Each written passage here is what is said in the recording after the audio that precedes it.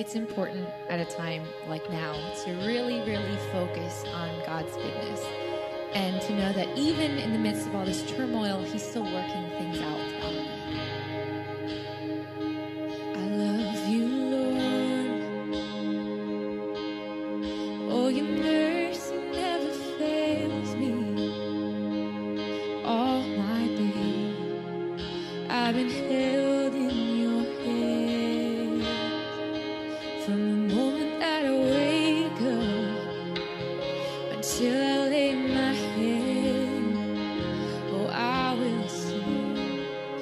The goodness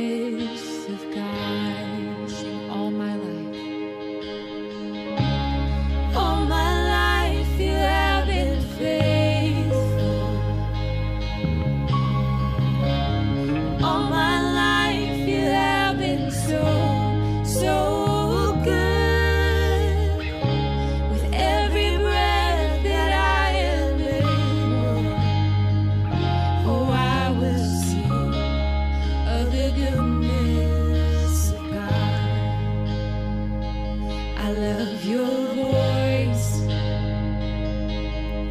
You have